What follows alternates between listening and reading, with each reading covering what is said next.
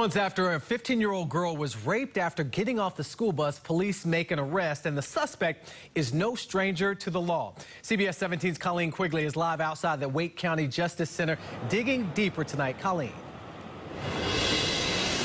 Yeah, and Marius, this is by all accounts a really horrific case. This girl gets off the school bus, and prosecutors say Quayne Hawkins followed her into a nearby park where she was violently raped. Now, we learned today that Hawkins has been arrested more than 30 times, including for assaulting a police officer.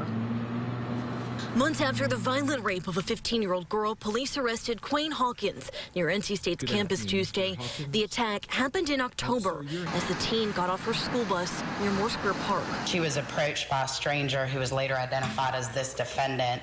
He began asking her how old she was, whether or not she was legal, if she wanted to smoke marijuana, if she wanted to drink. Prosecutors say the girl kept walking, trying to ignore the man, but took note of what the stranger was wearing and what he looked like, including a tattoo on his temple. He continued to follow her, and she was scared to actually stop at her home because she didn't want him to know where she lived, um, and also she didn't want any of her siblings to get hurt. Prosecutors say the stranger began kissing and touching the girl before grabbing her. Pulled her into a secluded area where he pushed her up against a tree and raped her. According to records obtained by CBS 17, Hawkins has been arrested in the county 33 times in the past, including several assault charges, including battery of an unborn child in 2014 and assaulting an officer in 2012. It was concerning to me to see that there were so many assault charges that had been dismissed. We sat down with Wake County District Attorney Lorrin Freeman, who explained many of the charges are misdemeanors and in some cases the victims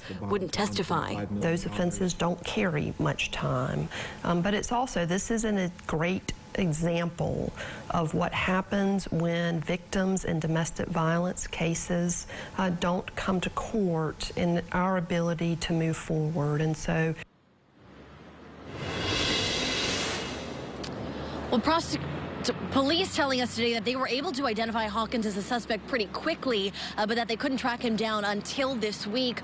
Prosecutors in court today citing that lengthy criminal records for Hawkins and public safety. They asked for his bond to be increased to $1.5 million, and the judge agreed to do so. Hawkins is due back here next month. Reporting live in Wake County, Colleen Quigley, CBS 17 News.